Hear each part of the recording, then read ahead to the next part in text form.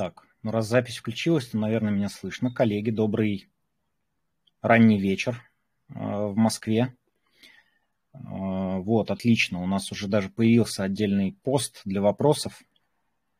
Э, я, наверное, начну с того, что представлюсь. Сегодня мы с вами общаемся в рамках регулярно проводимых эфиров в Ассоциации когнитивно-поведенческой психотерапии – надеюсь, что они для вас интересны и полезны. И сегодня будет тоже. Меня зовут Алексей Ежиков. Я руководитель секции коучинг в Ассоциации когнитивно-поведенческой психотерапии. А, наверное, имеет смысл несколько слов буквально рассказать о себе, чтобы познакомиться. Я а, по первому образованию математик, по второму клинический психолог и коуч в когнитивно-поведенческом подходе. Э, работаю с руководителями высшего звена, владельцами бизнеса, э, топ-менеджментом, членами их семей. Э, для тех, кто знаком с квалификациями Международной Федерации коучей, ICF, я квалифицирован как Professional Certified Coach, да, PCC ICF – кроме этого, я коуч-мастер по версии Ассоциации русскоязычных коучей, еще член правления в Ассоциации русскоязычных коучей. В общем, много всякого разного. Я очень большой апологет научного подхода, а, научно обоснованного, а, подходов, основанных на фактических данных. В частности, это линейка когнитивно-поведенческих подходов в коучинге, это evidence-based coaching, ну, естественно, evidence-based psychotherapy – а, также я работаю как психолог-консультант в когнитивно-поведенческом подходе. И последнее, наверное, еще что про себя скажу, что я супервизор а, психологов и супервизор коучей. Вот, в общем, а, такими вещами я занимаюсь. Сегодня наша тема, то, о чем я хотел с вами пообщаться, и надеюсь, что пообщаться в две стороны, да, что вы не только меня послушаете, но и сможете задать вопросы под, э, в комментариях к последнему посту, который вот отдельно сделан для комментариев к трансляции. Э, сегодня мы с вами поговорим о метафорах, о метафорах, которые возникают или используются в психотерапии, в психологическом консультировании и в коучинге, в когнитивно-поведенческом подходе. Да. Мне хочется, опять же, использовать научно обоснованный подход, и поэтому а, разговаривать о метафорах не только метафорами, да, но и вполне такими конкретными, а, конкретными смыслами.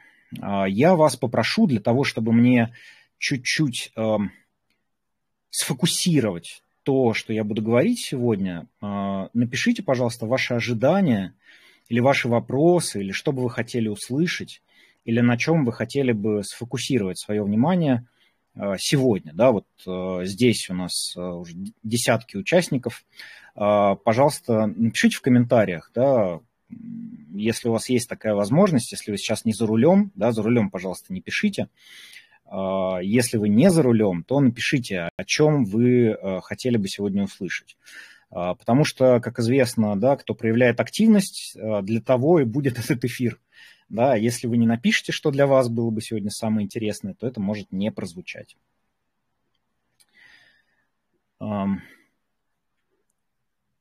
Пока пишите, я надеюсь. А, наверное, ну, пару слов, да, имеет смысл сказать, что ну, вообще сама тема метафор, она уже давно и надолго исследована в таких областях, как лингвистика, например. А, вообще метафоры, как вы понимаете, слово древнегреческое, и оно появилось, нетрудно догадаться, еще древнегреков. А, и там, Аристотель а, его использовал, это слово. И э, если окажетесь когда-нибудь в обычной Греции, не в древней, а в современной, да, э, машины времени, наверное, еще не изобрели, э, то вы там сможете увидеть надпись «Метафора» на фургонах, которые занимаются перевозкой мебели. Да, то есть метафора – это такой перенос э, или переведение чего-то. Да, вопрос чего же? Ну, наверное, какого-то смысла. Да? Мы переносим смысл как с одного понятия на другое.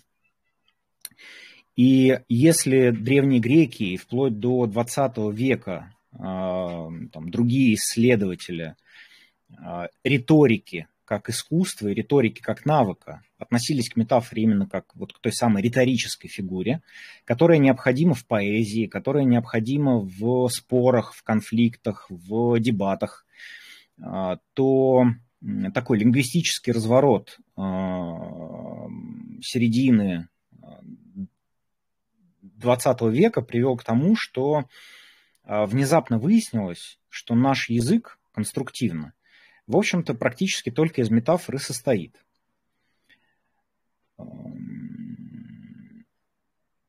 Ну, как это можно, какой можно привести пример?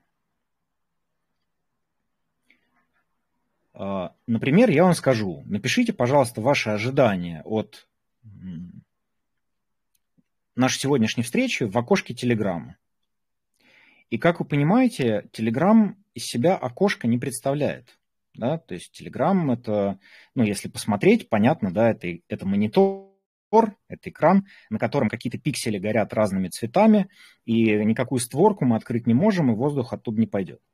А, то есть здесь мы видим перенос по определенным свойствам, да, определенного смысла с, от одного понятия к другому. А, или я говорю, что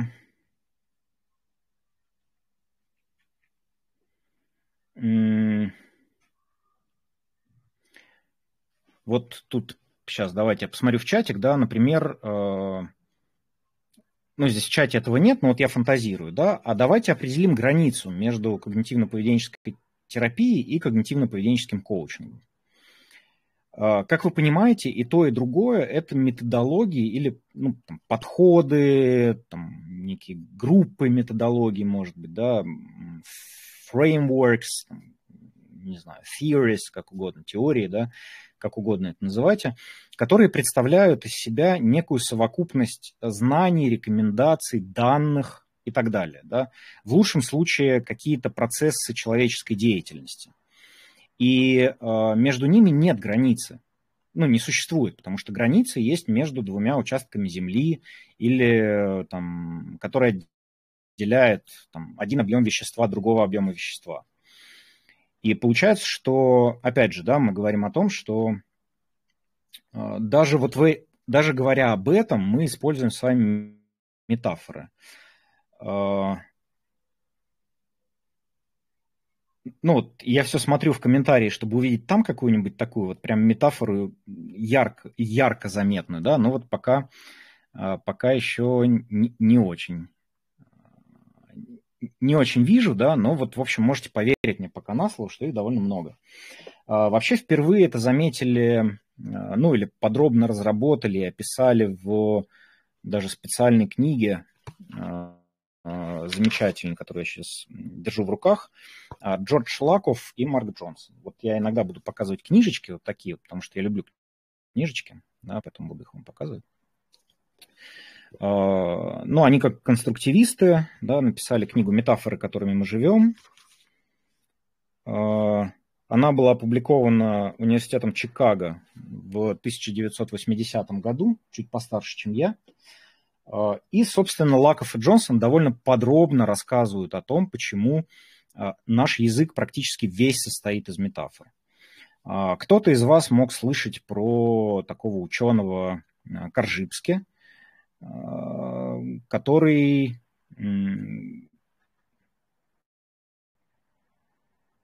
сейчас, извините, я завис, да, наверное, который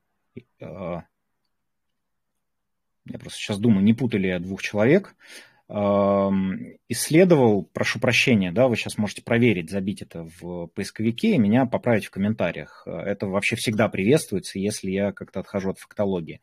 Так вот, короче, исследовал э, базовые, базовые смыслы. Да, то есть вот рождается ребеночек. А, у ребеночка еще никаких смыслов нет. Ребеночек вообще взаимодействует с окружающей средой те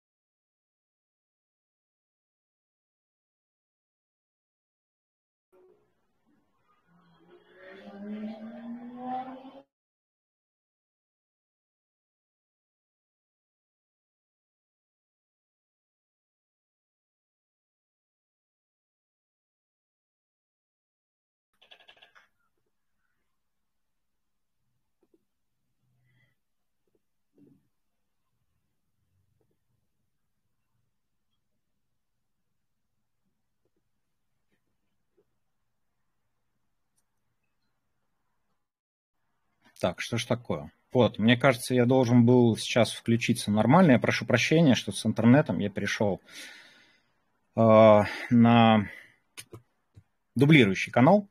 Э, что-то, в общем, мне все про ребеночка никак не удавалось рассказать. Так вот, поскольку он мало сначала различает, в какой-то момент ребенок начинает переворачиваться. И тут, оказывается, в жизни ребенка появляется верх и низ. Э, потом в какое-то время в жизни ребенка появляются ближе, дальше, там, еще какие-то э, вещи, которые он чувствует э, телом, да, именно телесно.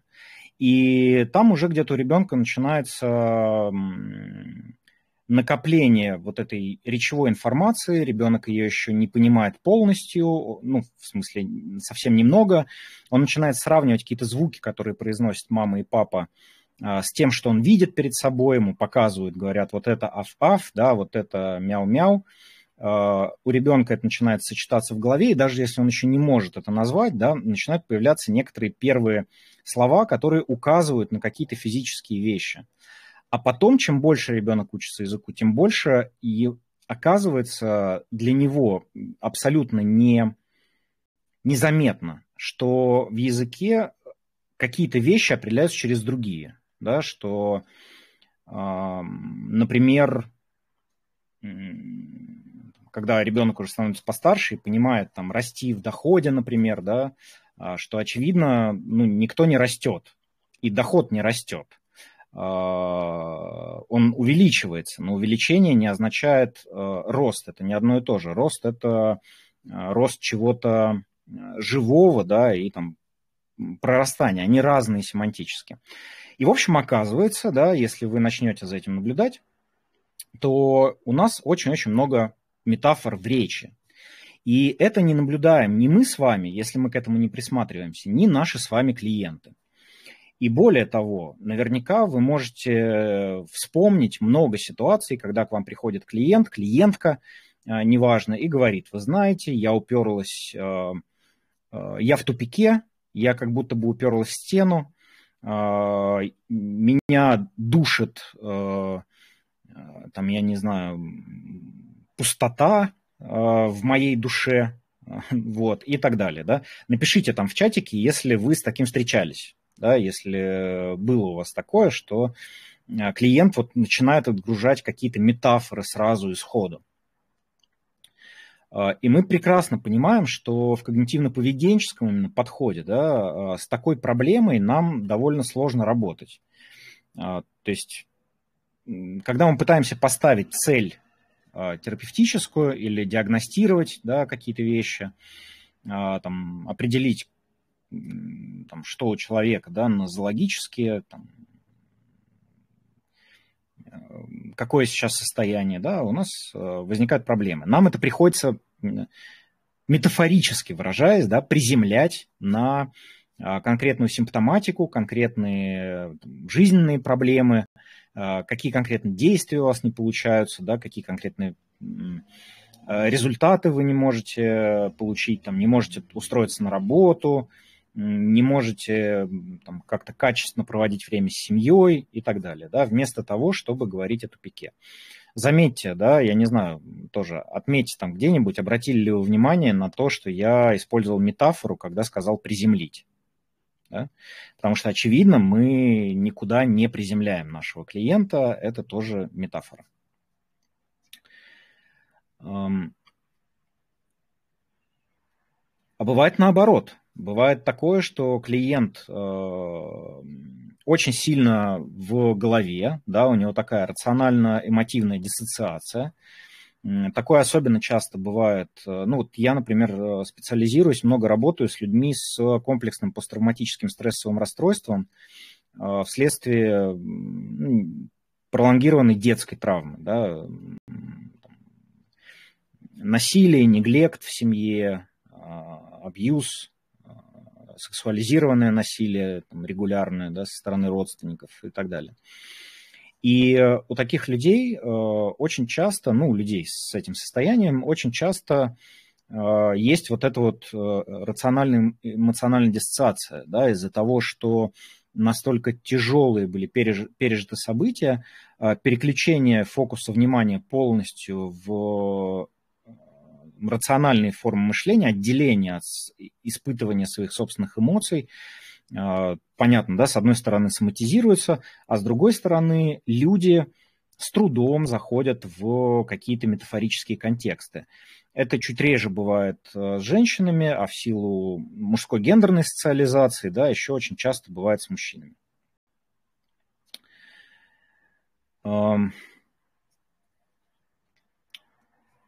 И таких людей вывести в какой-то метафорический контакт бывает довольно сложно, да, и тогда возникает вопрос, зачем? И нужно ли это вообще?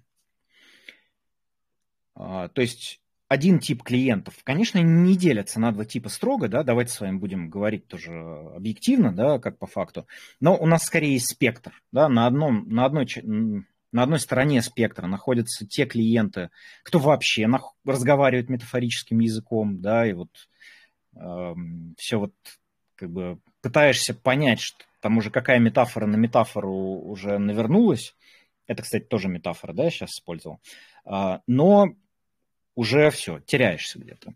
Либо наоборот, люди такие числовые, параллельные, перпендикулярные, значит, логика от сих до сих.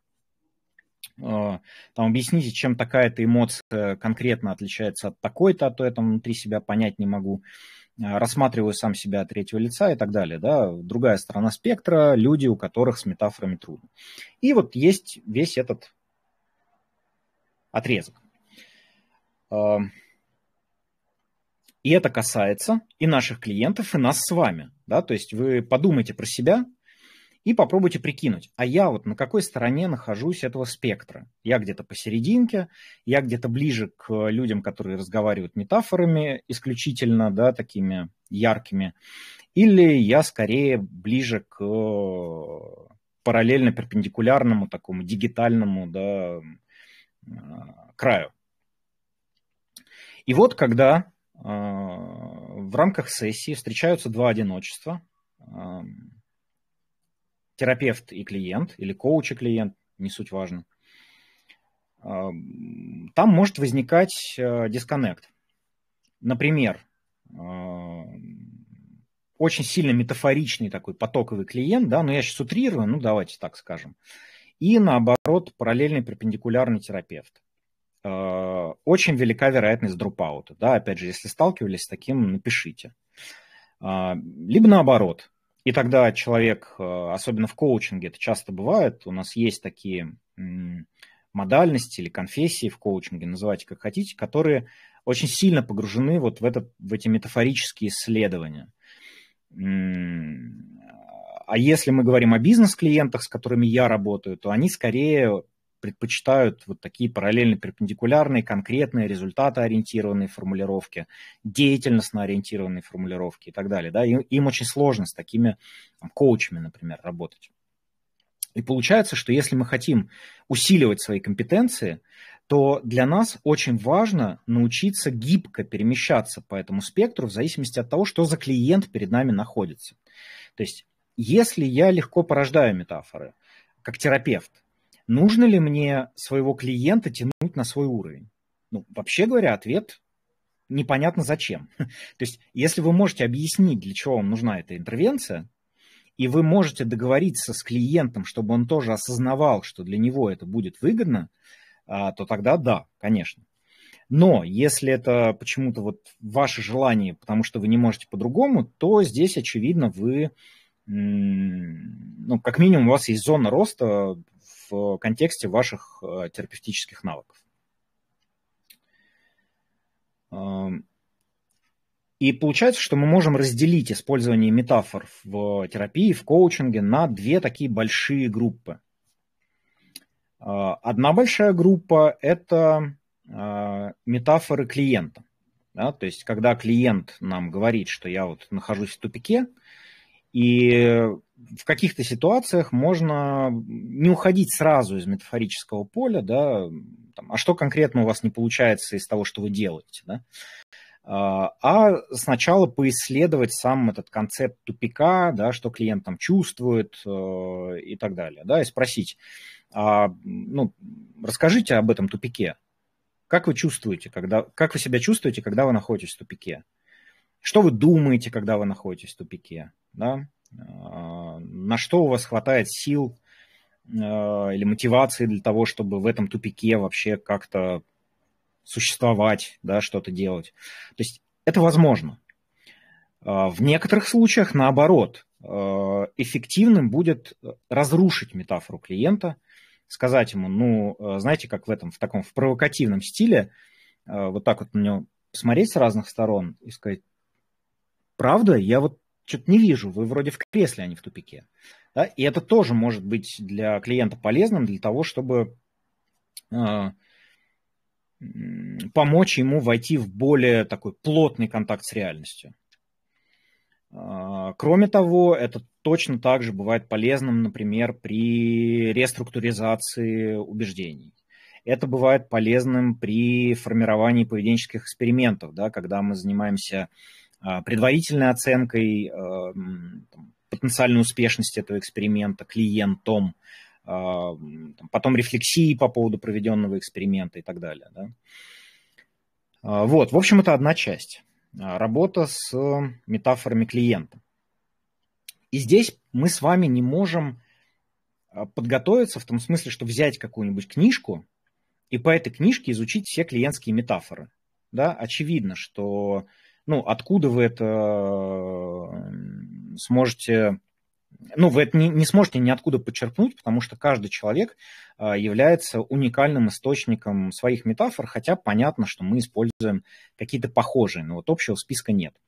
Вот тут Мария пишет в комментариях, что это похоже на боевое НЛП, что, мол, вы не в тупике.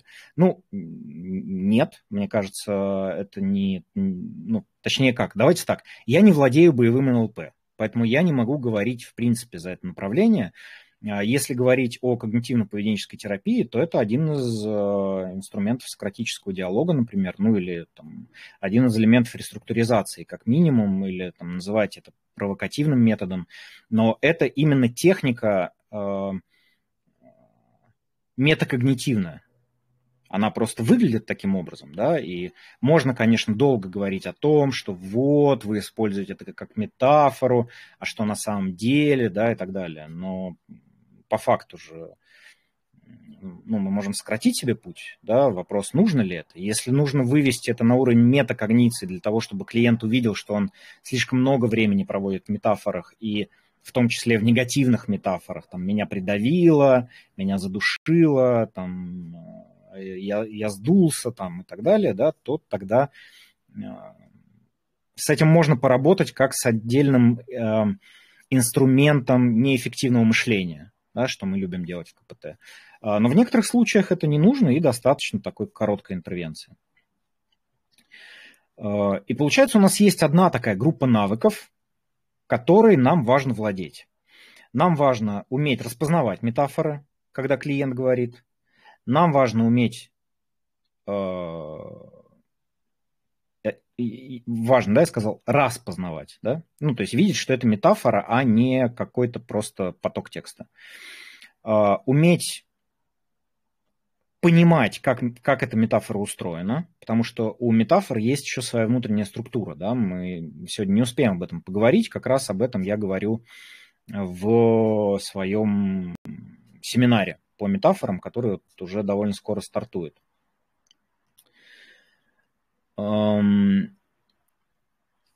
Потом у нас есть компетенции, которые связаны либо с развитием этой метафоры, причем очень важно, да, что мы развиваем эту метафору не просто так. Мы это делаем с определенной целью, которая должна быть либо э, терапевтической целью, либо помогающей э, клиенту достигать его или ее жизненной цели. Да? То есть нам нужно еще четко понимать, зачем мы эту интервенцию проводим, зачем мы продолжаем развивать метафору. И здесь очень много творчества. То есть вы используете не какие-то готовые решения из учебников, да, вы э, ну, находитесь в неком сотворчестве с э, клиентом. Например, клиент говорит, я не могу никуда начать двигаться, пока не увижу точку Б. А, то есть я не, не могу пойти туда. Да, и вы расспрашиваете, а как вы должны, ну, как вы хотели бы а, представлять себе точку Б, да, как вы поймете, что это уже происходит. Ну, вот человек описывает метафору, что, ну, вот это как карта, там вот я вижу, значит, там вот проложен маршрут, там видно, где все там повороты или какие-то там болота или что-то еще. На этой карте четко есть расположение точки Б. Да, ну, то есть мы, когда начинаем это интерпретировать, сразу можем подозревать, да, какой-то, э, ну, такую усиленную форму контроля, да, где-то, может быть, переходящую в гиперконтроль, э, там, тревожность, ну, все, все вот это. И в этот момент, безусловно, опять же, мы можем работать э, классическими инструментами, можно их так назвать, не знаю, э, конкретной такой подробной концептуализацией заняться, да, там, выяснять, что за этим стоит, какие эмоции, какие автоматические мысли, какие промежуточные убеждения, да, что э, для того, чтобы начать что-то делать, я должен представлять себе все будущие риски, да, ну вот что-нибудь такое там может возникнуть, ну и так далее. И мы можем предложить человеку, вот внезапно приходит в голову, предложить другую метафору. И, и там сказать, а могу ли я тебе предложить по-другому на это посмотреть? А, как именно? Да, спросит клиент. И мы скажем, представь, что ты живешь где-то, ну вот в какой-нибудь там деревне, да, когда-нибудь давно. И ты знаешь точно, где находятся твои соседние деревни, где находится там Москва или ближайший там крупный город, неважно какой, там, Казань, там, какой угодно. Ты знаешь только по направлению. То есть вот тебе рассказывали, что там где ты, вот если идешь на восток, там есть дорога, ты на нее, на эту широкую дорогу выйдешь, и там у людей спроси, и по этой дороге дойдешь. А может быть, ты собрался идти куда-то в сторону острова Буяна, про который вообще никто не знает. Он есть где-то или нет на карте. Известно только, что он там на юге за семью морями. И получается, что у тебя возникает намерение и некое направление. И при этом, э, куда поворачивать, куда двигаться, ты принимаешь это решение э, в какие-то отдельные нужные моменты, на каких-то развилках, а, где-то еще разными способами. Ты спрашиваешь у других людей, а как там вот в сторону Буяна острова пройти или в сторону Казани. Ты ориентируешься по сторонам света, ты смотришь там, где солнце, мох и так далее. А, когда ты совсем не знаешь, куда идти, ты останавливаешься, и ты, значит, там стоишь на привале и так далее, да, то есть, что ты вот или как по незнакомому городу, когда ты ходишь, и тебе вот нужно куда-то прийти, и карты нет. Ну, сейчас сложнее это, да, со смартфонами. Раньше было проще э, эту метафору использовать. И в этой метафоре сначала клиенту может быть сложно в нее переключиться, э, но это тоже про путешествие, да, то есть мы остаемся вот в этой метафорике движения э, из точки А в точку Б в физическом мире с использованием карты или при ее отсутствии да, то есть здесь можно обсудить с клиентом, что вот ты находишься здесь в точке А, у тебя нет карты и никогда не может быть карты до, вот, э, до точки Б, потому что это твоя точка, там никто не был. Тебе никто не расскажет полностью вот весь путь, как, как его пройти. Да? И ты там не был. То есть тебе реально нужно оказаться, как вот первопроходцу, где-то в, тех местах, где ты никогда не был. Очевидно, что ты эту карту никогда не сделаешь такой, какой ты хочешь. Ну, опять же, да, это не мы говорим клиенту, а там в диалоге это выясняется. Вот такой пример, да, как мы можем э, развивать, разворачивать, переворачивать метафоры клиента. Есть вторая большая группа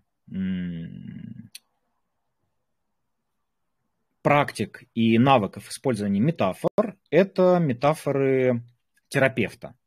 Да, это скажем так, заготовленные метафоры, те метафоры, которые вы узнаете в, там, на образовательных курсах, делитесь друг с другом э, какими-то своими профессиональными фишками или решениями. Э, в какой-то момент у вас метафора возникает в практике, она классно срабатывает, ну, просто взбрела в голову, какая-то очень хорошая метафора про там, когнитивную модель или про поведенческую активацию, или там про что угодно. И вы начинаете использовать эту уже готовую, подготовленную метафору например, для психообразования, да, в других ваших сессиях с другими клиентами. И это другая немножко история, которая по большому счету требует насмотренности, продолжительности опыта и, ну, в целом, изучения, накопления знаний. На эту тему на русском языке есть как минимум три книги. Я вам их тоже покажу, чтобы как бы вы пользу отсюда взяли, да, потому что у нас эфир, и три книги изложить за один эфир невозможно. Вот если мы говорим про КПТ классический, то это Оксфордское руководство, Ричард Стот и коллеги. Вот оно вот так выглядит. А, метафоры в когнитивно-поведенческой терапии, создание когнитивных связей. А, в общем, очень рекомендую. А, здесь, в этой книге, прям есть главы. Сначала первые, да, там исторические корни теории концептуализации, клиническое использование, принципы формата, контекст КПТ, а дальше начинается, да, депрессия, отдельная глава, тревожное расстройство, отдельная глава, биполярное расстройство, перепады настроения, следующая глава, психоз, следующее расстройство пищевого поведения. То есть вы можете для себя расширить ваш а, профессиональный репертуар, ваш профессиональный, а, ваш профессиональный сундучок с инструментами сложить еще некоторое количество, которые вы сможете почерпнуть из этой книги. А, как вы заметили, да, сейчас была метафора сундучка. Вторая книга – это тоже по КПТ, но такому третьей волны. А, метафоры в терапии принятия ответственности, практическое руководство. Это Стодарт и Афари. Здесь, естественно, да, речь идет в контексте гексофлекса. Ну, если кто-то не изучал э, теорию, э, терапию принятия ответственностью, извините.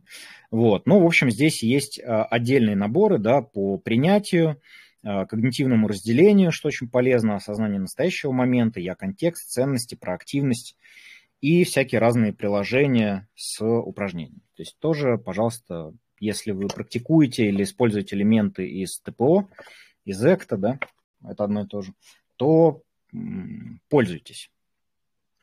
И, наконец, э, прекрасная книжка, которую тоже рекомендую почитать. Хотя Никлас Торнеке, если мне не изменяет память психоаналитик, ну, по крайней мере, психоаналитическая подготовка, я могу тоже врать, да, э, хотя предисловие Стивена Хейса, наверное, я вам вру, да, поэтому лучше будет тоже уточнить этот момент. А, метафора в практике психотерапевта. А, применение лингвистики в психотерапии. Николас Торники, доктор медицины, как раз-таки предисловие Стивена Хейса. А, здесь, ну, кстати, да, во всех книгах очень богатый ссылочный материал, то есть там по 200 там, с лишним ссылок на статьи, на публикации, на научную литературу, да, то есть я вам показываю не художественные книги, это а, наши с вами профессиональные инструменты. Э, и здесь э, Торнеке очень э, здорово рассказывает про то, как использовать и в каких случаях использовать метафоры клиента, а также говорит о метафорах как терапевтическом средстве. А, ключевые стратегии использования метафор. А, ну, он говорит о, те, о теории реляционных фреймов, да, и здесь а, тоже во многом это с терапией принятия ответственности пересекается. Создание метафор для функционального анализа, развитие позиции внутреннего наблюдателя, выбора жизненного пути, да, примеры здесь, кейсы, метафоры, практические упражнения. Вот. Это если говорить про конкретную да, метафорику. Здесь вот возникает вопрос, а, точнее возникал вопрос, да, услышать проверенные рабочие метафоры в коучинге, ну, наверное, в коучинге и КПТ-контекстах. А, проверенные рабочие метафоры, да, вот берете книжки и их читаете в зависимости от того, а, для каких конкретно целей, в работе с какими конкретно нозологиями вам нужны метафоры. Да, это я Инге отвечаю, вот, который оставил этот вопрос. Ну и, может быть, да, вас тоже это интересует, коллеги, кто слушает, смотрит запись.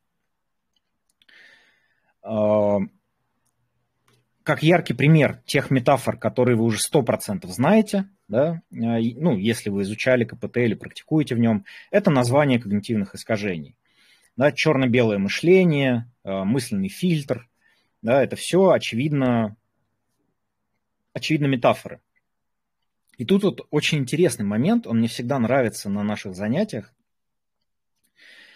а, как раз по метафорам, да, когда я провожу курс, задать вопрос, вот мысленный фильтр, да, представьте себе ну, эту метафору, да, ну, мы знаем, что это такая ошибка мышления, да, воспринимать и сохранять в памяти только те утверждения, которые подтверждают наши, наши предыдущие интерпретации, да, там негативные, например, только подтверждения находить, а, там, я не знаю, каким-то своим проявлением или тому, как мир со мной взаимодействует.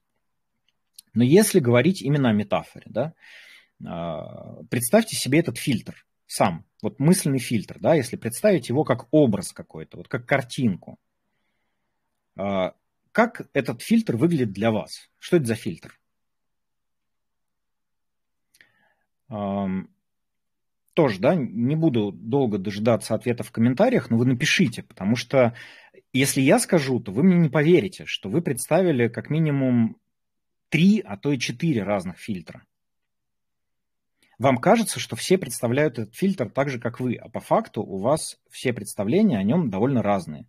Потому что кто-то себе представляет фильтр как э, фильтр кофе э, в этом самом, ну, в кофейной машинке, который через себя пропускает только воду и не пропускает э, ну, более, более, более крупную фракцию да, э, э, молотого кофе. Э, кто-то себе представляет э, ну, что-то вроде такого отбора а, то есть как там конвейерная лента, по которой едет, значит, там какая-то порода там, или камни, и там, значит, идет такая сортировка, да, одни камни в одну сторону, которые там подходящие, а, э, точнее, не подходящие, там какие-нибудь, не знаю, а, золотую руду там в другую сторону, да, такая фильтрация происходит. А, кто-то говорил проводный фильтр. Я не помню, как конкретно это, э, эта метафора работала, да, но вот для кого-то он был такой. И если мы всмотримся в использование вот этой разной метафорики, то мы сразу понимаем, что наш клиент, вообще говоря, скорее всего, будет себе представлять не тот мысленный фильтр в виде образа, который представляем себе мы. Это неплохо, не хорошо, но это довольно курьезный случай – и в каких-то случаях вы можете столкнуться с тем, что когда вы предлагаете клиенту некую метафору, а потом говорите, а вот теперь давайте посмотрим на ручечку этого чайника. А, а клиент такой, на какую ручечку? У моего чайника нет никакой ручечки, у него там что-нибудь другое. Ну, я сейчас на уровне фантазии об этом говорю.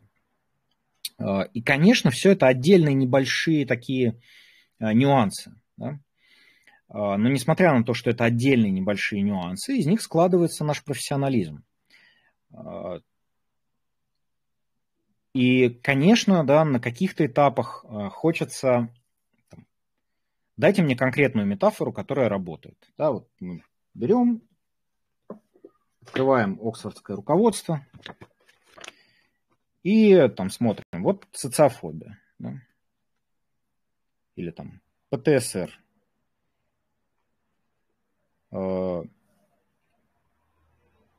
что для этого в работе ПТСР необходимо характеризовать специфический характер травматического воспоминания, э, когда там ну, как будто бы событие только что возникло, да, воспоминание легко запускается э, в сознании, вне контроля, находится в необработанном состоянии, не притупляется с течением времени и так далее. И одна из таких метафор – переполненный кухонный шкаф – Шкаф, представляющий собой память, обычно в целом хорошо организован и упорядочен, дверцы его закрыты. Если необходим какой-то предмет, дверь осторожно открывают, предмет извлекают. Это соответствует добровольному доступу к памяти. Однако в случае травмы происходит повторяющаяся автоматическая активация памяти, как будто внезапно, неожиданно кто-то сунул вам в руки огромную массу кухонной посуды с криком «уберите ее быстро!». Вы пытаетесь запихнуть ее в кухонный шкаф, но предметы не вмещаются, дверцы открываются, посуда выпадает из шкафа. А, вы снова пытаетесь поспешно набить предметами шкаф, но то же самое происходит снова и снова. Что должно быть сделано, чтобы разорвать этот повторяющийся цикл? Конечно, предметы нужно вынуть, сложить тщательно и, наконец, упорядоченно вернуть их в шкаф. Вот, да, как один из примеров, э, понятно, что вот этот набор э, разных метафор на разные случаи жизни, это такая вот подборка того, что работало для разных специалистов, да, и они делились по этому поводу опытом. Если говорить о тех научных знаниях, которыми мы располагаем относительно метафор. Конечно, у нас нет достаточного объема данных, и вообще вряд ли можно так, э, ну, точнее, непонятно, как именно поставить эксперимент таким образом, чтобы можно было сказать, вот конкретно в этом случае, да, там на выборке из 100 человек, 50 э, мы предъявили вот такую метафору, а другим 50 мы предъявили другую метафору, и результат значимо отличался. Да? Поэтому вот такая метафора работает лучше, чем вот такая.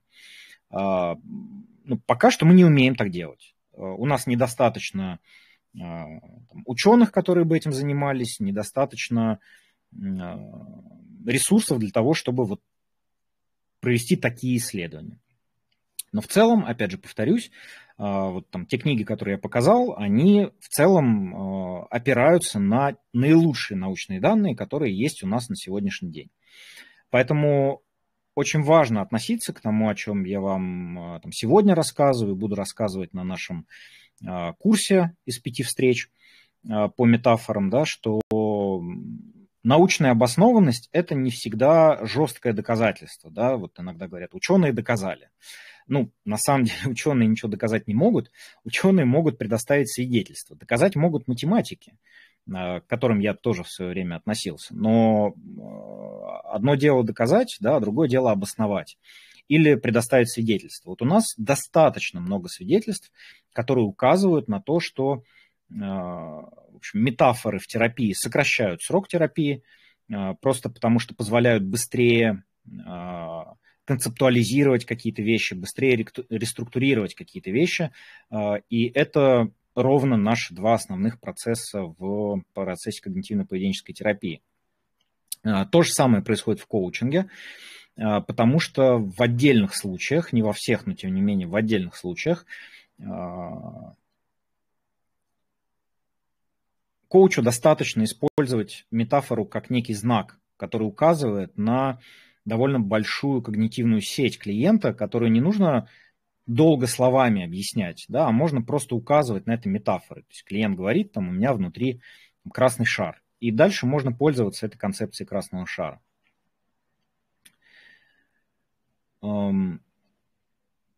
Я несколько раз сегодня упоминал э, наш курс, да, э, наш семинар, давайте его так назовем. Э, правильнее его называть именно семинаром, наверное. Меня Анастасия поправит, если я что-то неправильно говорю э, в чатике. Я надеюсь, что сбросит ссылку. Э, значит, это 5 занятий.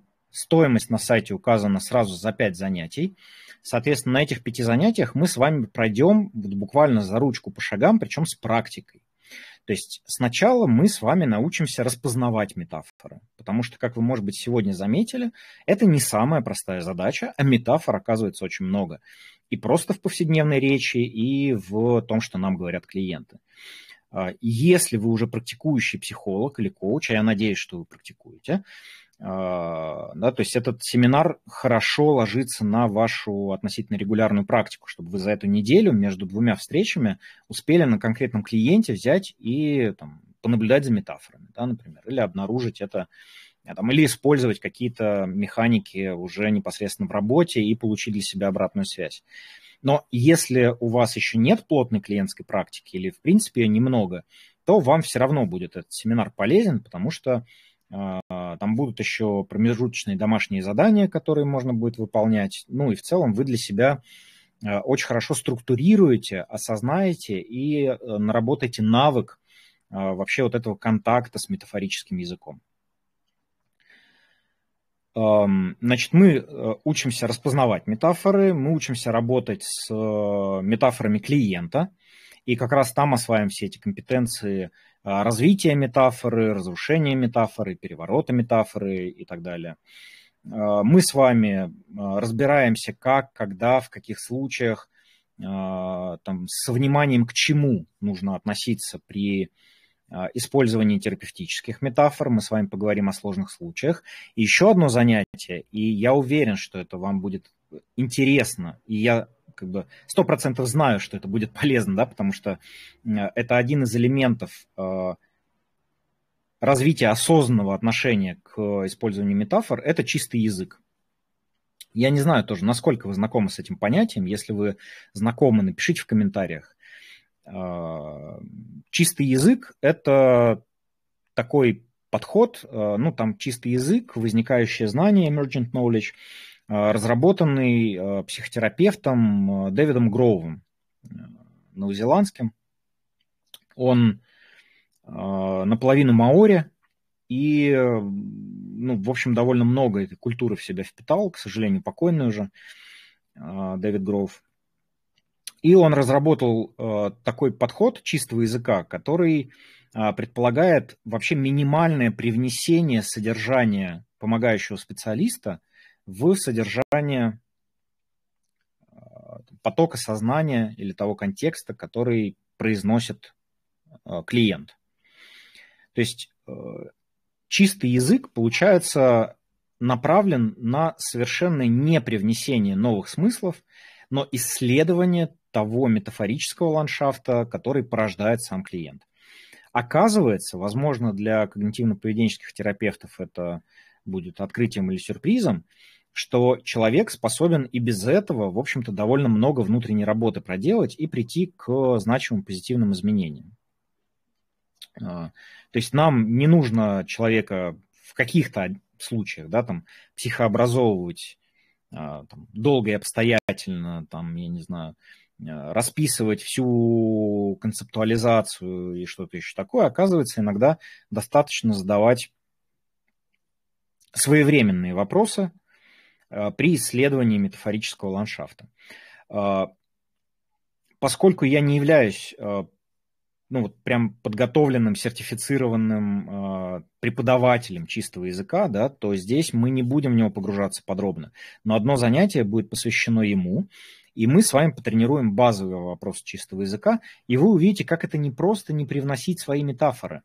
И это как раз даст вам возможность при необходимости научиться более гибко перемещаться между этими двумя спектрами, а, двумя краями спектра, прошу прощения, да, вот этого полностью метафорического языка и языка, в котором вы метафоры не используете или используете только метафоры клиента.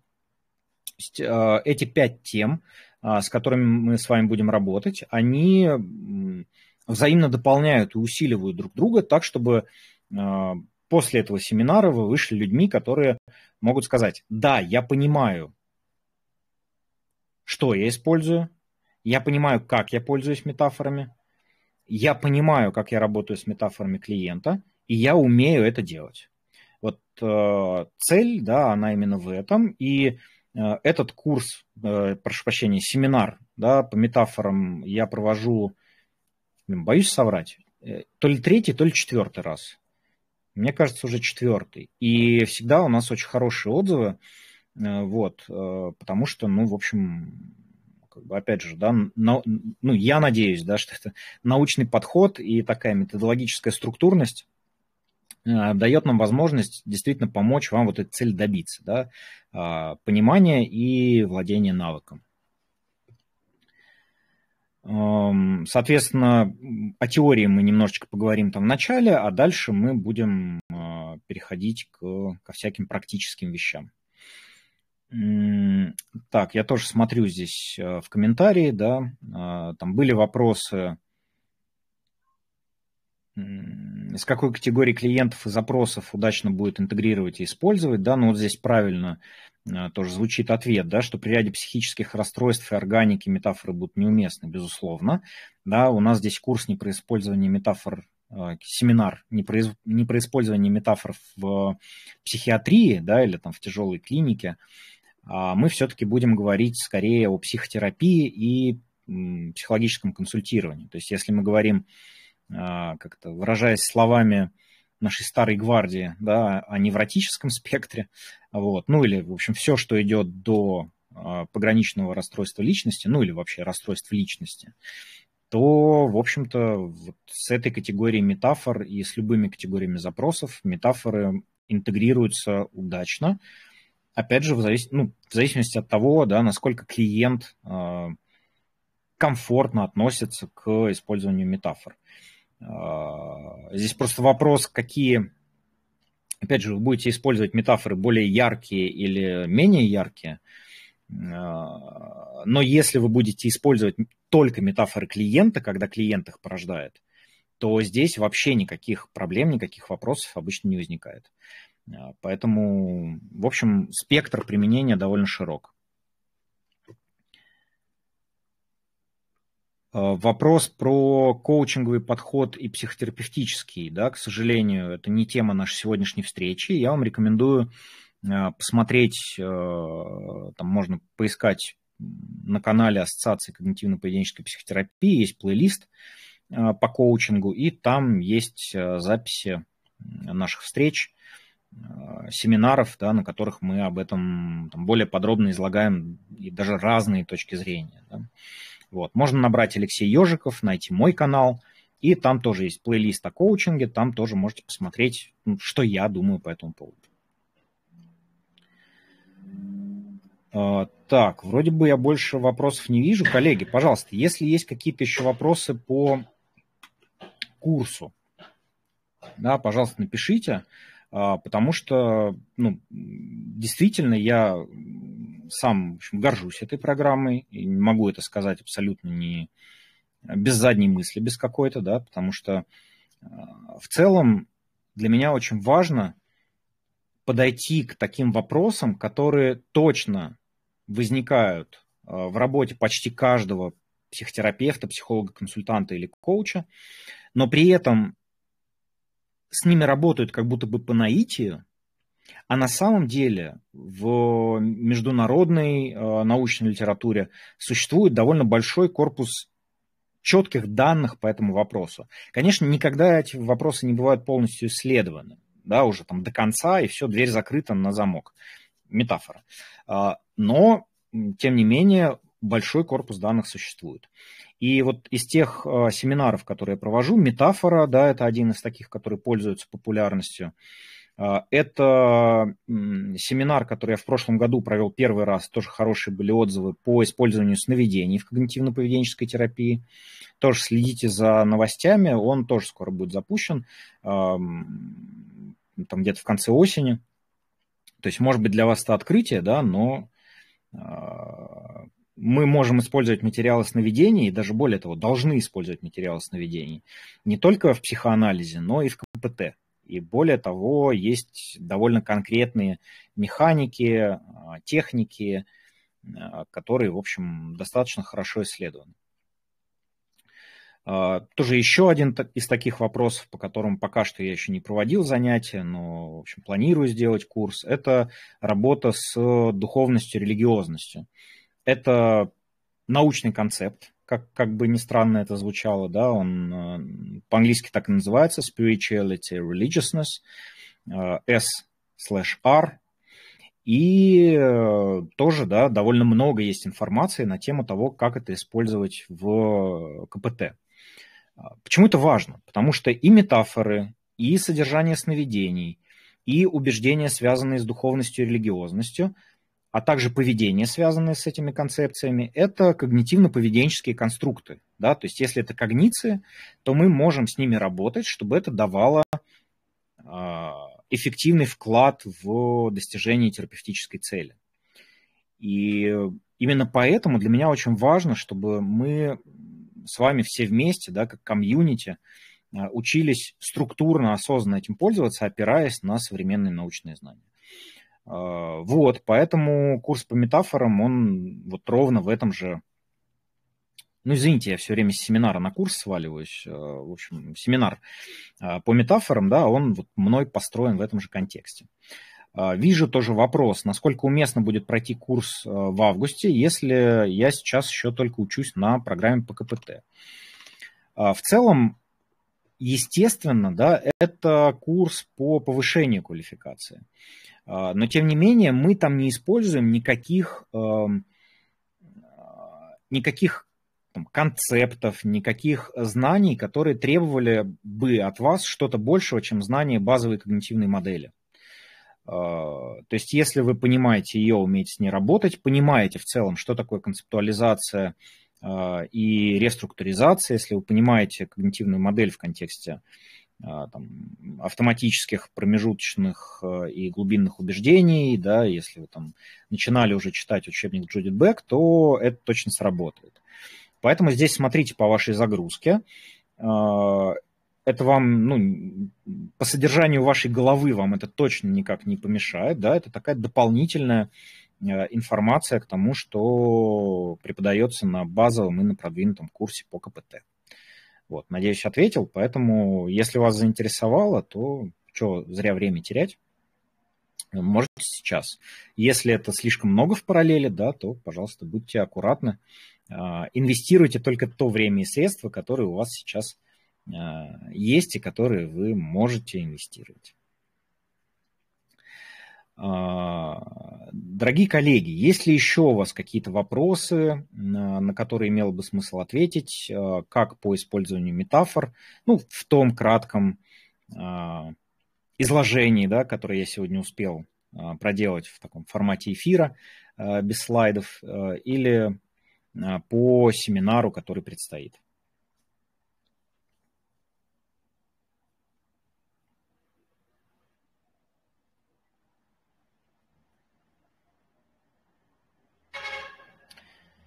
Так, ну, пока вы пишете, вопросов не вижу. Да, тогда в завершение скажу, коллеги, если вам было полезно, а, подписывайтесь на меня везде, где только можно. А, меня можно найти по имени Алексей Ежиков в Инстаграме. А, значит, у меня есть канал в Телеграме, да, вот здесь, где вы находитесь, моей школы коучингового мастерства SCBBC, SCBBC, вот можете найти тоже поиском. Э, ВКонтакте, э, в Фейсбуке, в общем, меня везде легко найти. В Ютубе тоже, да, подписывайтесь на мой канал. Э, кроме этого, подписывайтесь ну, на канал Ассоциации когнитивно-поведенческой терапии, вы уже подписаны. Если вы еще не подписаны, подпишитесь на канал собственно, нашего института Мир КПТ, в котором, в рамках которого и происходит это обучение, и сертификаты, от имени которого вы получаете вместе с э, документами государственного образца повышения квалификации. Э, вот. Опять же, если на YouTube не подписаны на каналы КПП, то тоже обязательно подписывайтесь. Там много полезного интересного, в том числе и по коучингу, и по психотерапии, понятное дело. А, что еще я вам не, не порекомендовал?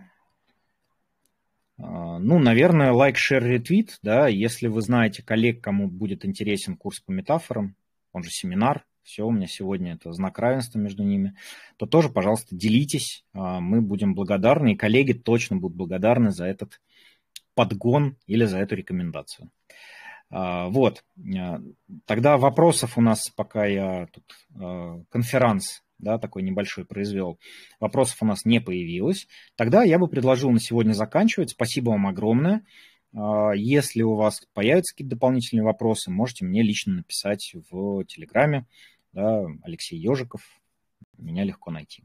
Тогда до новых встреч, и я надеюсь, что до встречи на семинаре по метафорам в психотерапии и коучинге а, когнитивно-поведенческих. Буду рад а, поделиться с вами всем, что знаю и умею. А, Все на этом. Всего доброго. Вам отличного вечера.